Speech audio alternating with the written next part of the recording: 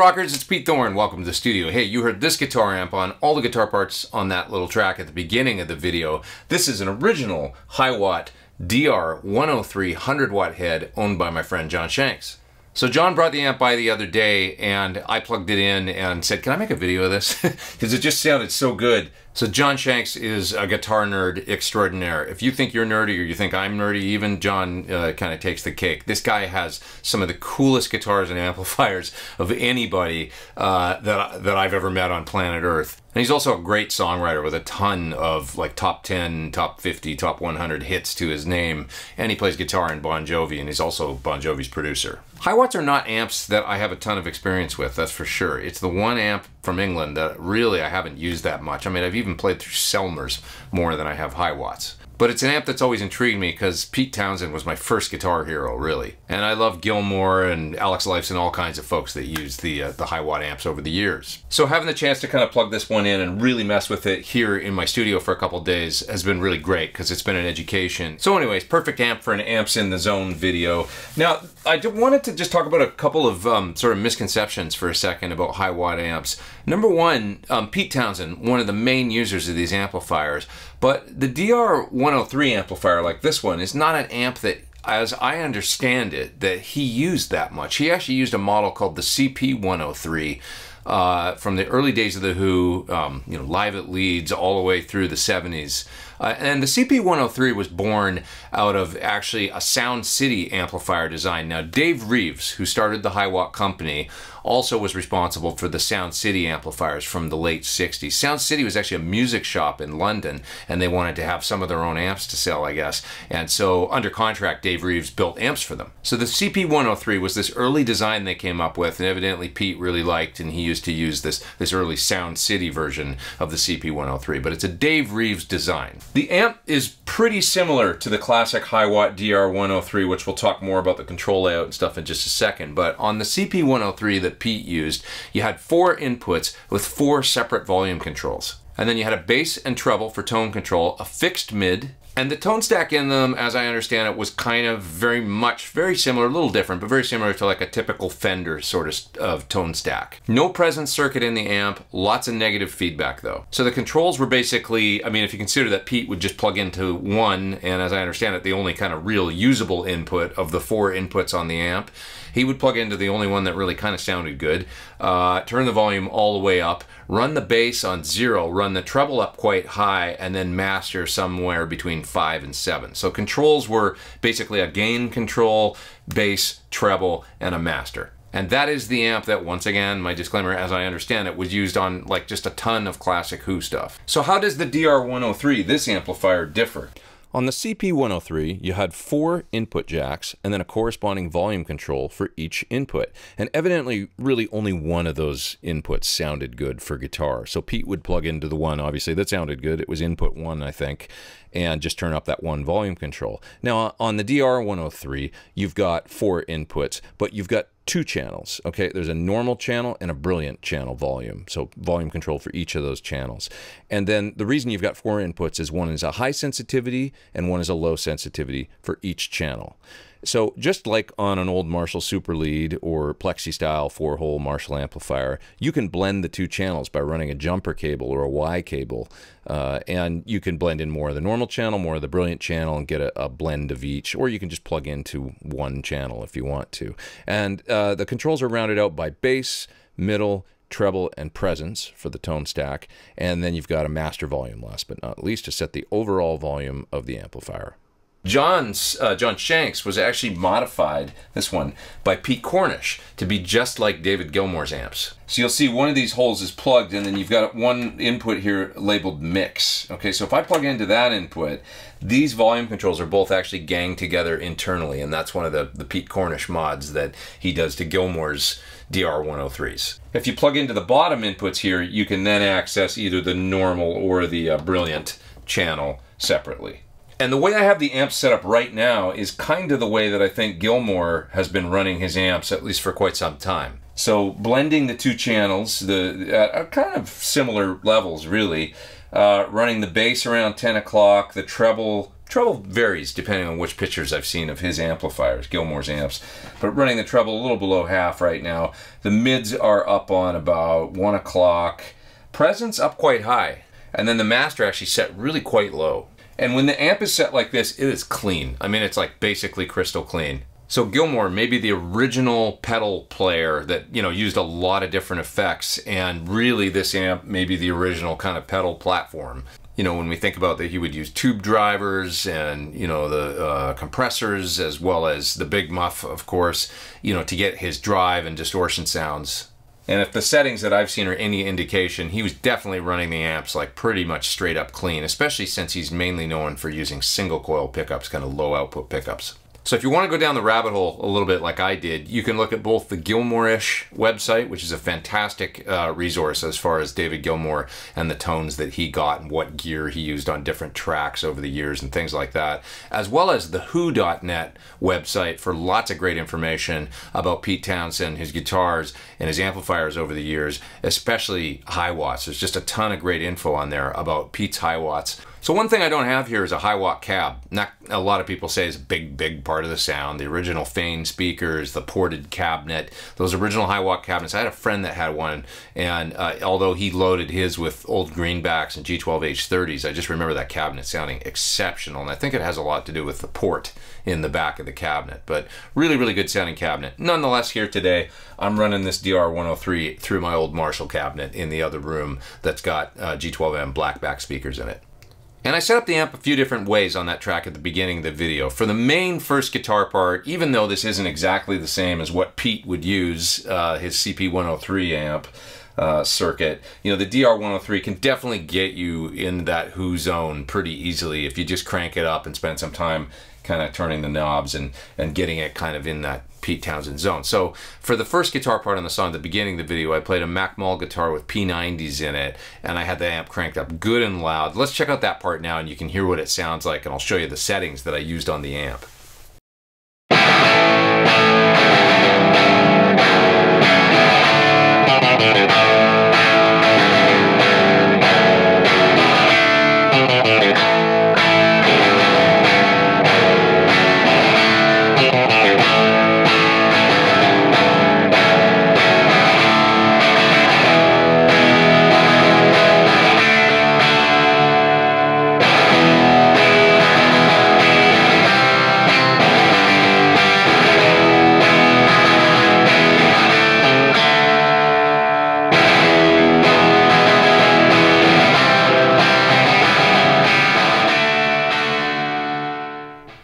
So for that tone, I mean, I had the master up quite high and I had the mids up quite high. And one thing you'll find about these DR103 amplifiers, one thing I noticed is that the mid-range control uh, really has a lot of effect on the amount of grind and drive you're getting. And that's because this mid control uh, is really big compared to, let's say, on a Marshall amplifier where you've got a 25K mid on an old Marshall Plexi. Dave Friedman was mentioning to me that this is a 100K mid. So when you, as you turn that mid up, you get a lot of mid range and you also get like way more distortion as you're turning up the mids. So it's pretty interesting and something that's kind of unique about this circuit, I think. You know, the tone that you're going to get is really dependent on that mid range setting. Maybe I'll just play a little bit more through the amp now and turn the, uh, the normal volume and brilliant volume controls as well as the mid and just experiment a little bit so you can hear what kind of uh, sort of variety you can get in the tone by uh, using different variations of those different channel volumes, which is really easy to do on this Pete Cornish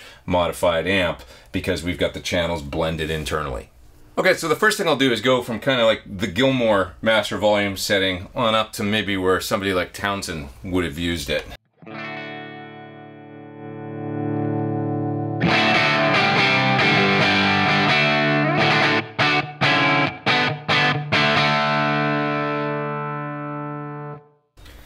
So you can hear right away, it gets a lot crunchier and you're, you're distorting the power section and stuff when you turn it up and how clean it was when I first started using it. Okay, so now let's turn some knobs uh, with the master set up around 230.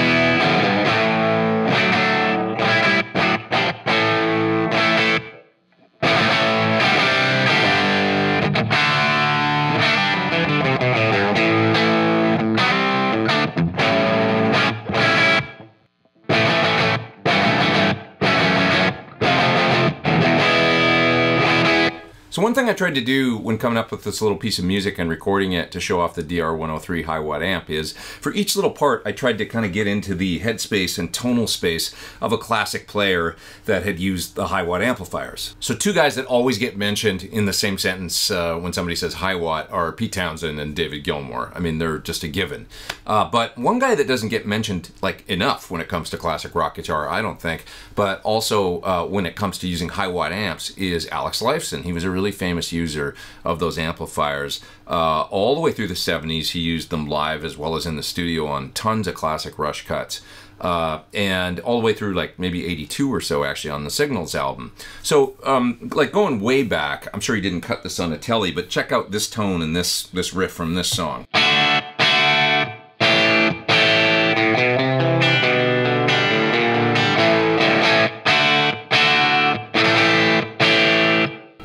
I could totally hear that being a Hiwatt. Uh, you know, I'm not sure that it was, but it definitely has that character. And Alex was a total disciple of like Pete Townshend as well as Jimmy Page, you know, a couple of his really big influences. So, um, you know, that punchy, raw sound, I'm sure appealed to him and it's kind of what he was going for.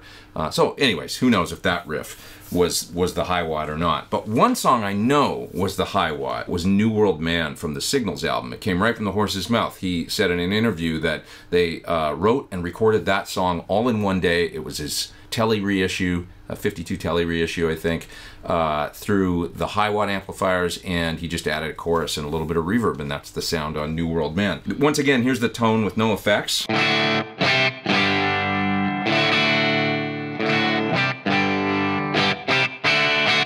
Right? And if I just add a little bit of analog chorus, I've got this Anadime chorus here from Providence, check out what happens to the tone.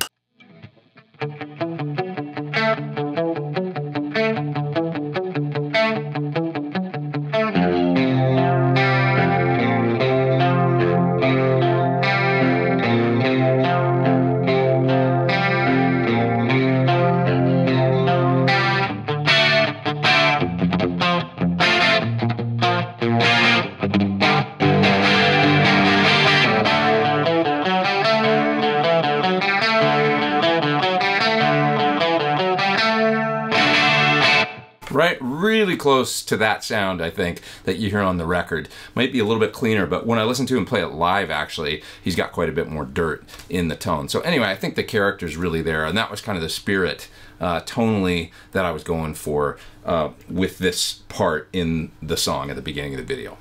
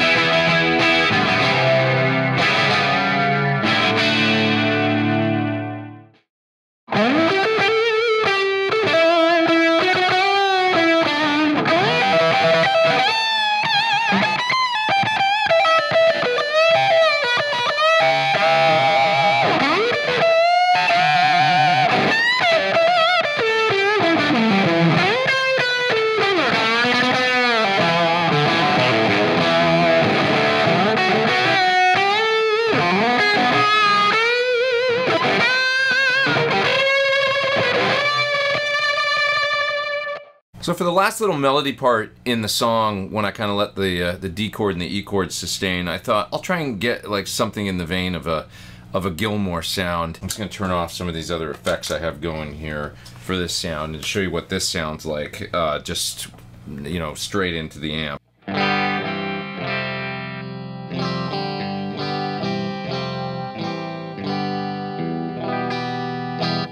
So just kind of a very, very clean sound. And, you know, it's interesting. I mean, they are kind of the ultimate pedal platform, I guess, these amps. And they were the original pedal platform, maybe, uh, because David Gilmour would be one of the first guys that started using lots and lots of effects.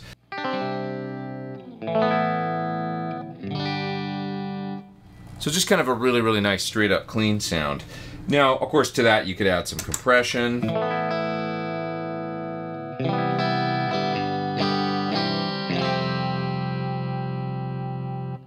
And that would be really cool. Or you could add some chorus, all kinds of stuff, and kind of flush the tone out. So I've set up kind of a 2290 style stereo delay um, in Logic right now. And actually, I'm going to turn on my muff style fuzz, which is what I used on that little part in the song.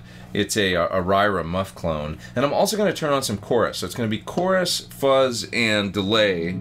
And this is what you get.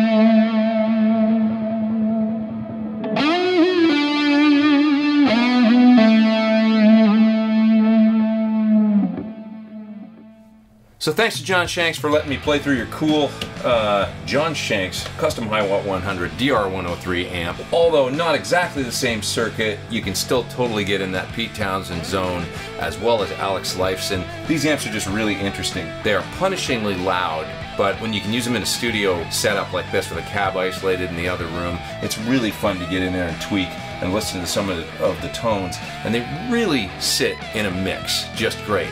You can get just the right amount of punch, just the right amount of drive, and you know, lots of clean headroom if you want it on tap.